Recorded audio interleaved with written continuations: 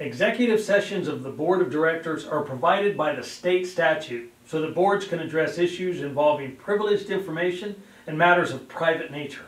As a result, members do not have a right to attend executive sessions. Generally, boards may only go into executive sessions for the following issues. Legal issues. This may be to discuss litigation, meeting an executive session preserves attorney-client privilege. The association's attorney does not need to be present for the board to go into executive session or discuss legal issues. Negotiation of contracts. Hearings. Board should meet for all violation hearings and allow for the accused member to attend. Personnel issues. If the association has employees, personnel matters may include but are not limited to hiring, firing, raises, disciplinary matters, and performance reviews. Collection issues.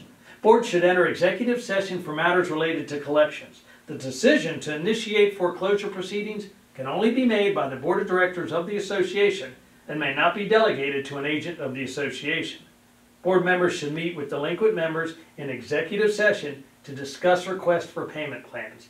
The key point of any association meeting is that the governing documents, bylaws, and/or declarations lay the roadmap to be followed.